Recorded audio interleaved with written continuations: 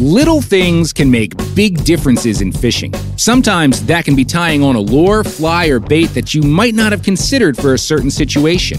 It could be a simple tweak to a presentation, a hack for getting better performance out of your tackle, or a piece of advice from a fellow angler that opens your eyes to a new way to approach your home water. I'm Outdoor Life's fishing editor Joe Cermele, and I've been writing, podcasting, and shooting videos about fishing for nearly 20 years. Along the way, I've met some very fishy people, and my favorite part of my job has always been gleaning the little tips and tricks that have made me a better angler and hopefully made some of you better anglers through the pages of Outdoor Life and beyond. Now, I'm bringing you these nuggets of angling wisdom directly from some of the most passionate fish heads I know without all the filler in between.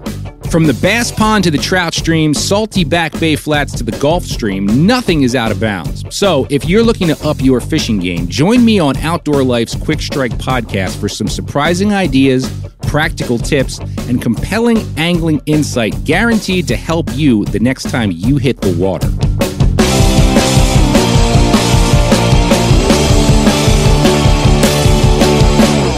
Episode 1 drops Tuesday, July 2nd.